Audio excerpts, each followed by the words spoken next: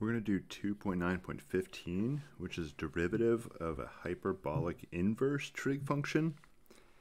There is a second part to this question here, uh, or a second part to the uh, expression, which I'm going to skip because we covered that earlier. I just want to focus on this first part here. So one thing you're going to need is this table right here, which is from page 248.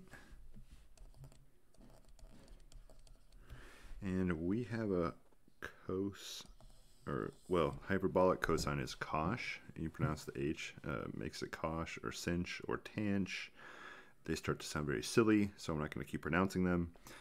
Okay, so we're going to take derivative of x cosh inverse x over 2.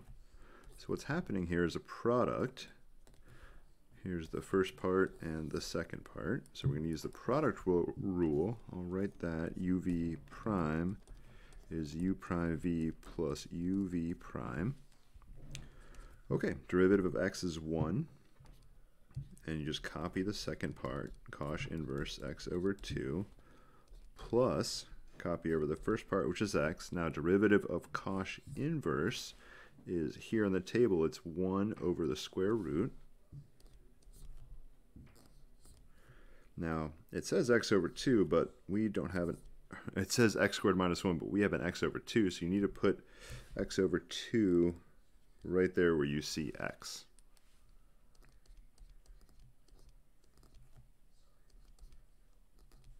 And we're not done. All we did was take care of the cosh inverse. Now there's derivative of x over 2 is 1 half.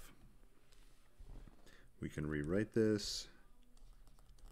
Cosh inverse x over 2 plus, now how we write this, I can put the x in the numerator uh, because it's a product. This 1 half, you can multiply 1 in the numerator, 2 in the denominator, and that gives us x over square root, uh, there's a 2 down here, 2 square root x over 2 squared minus 1. And of course, x over 2 squared is x squared over 2 squared, which is x over 4.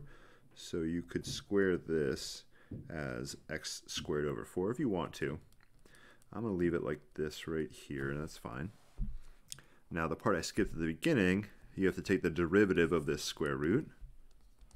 So I'm just going to write other derivative. You do need a chain rule on this right here. There's a square root or a half power as the outermost part. Uh, and then you're going to work uh, towards the inside. But that is uh, something we covered way earlier.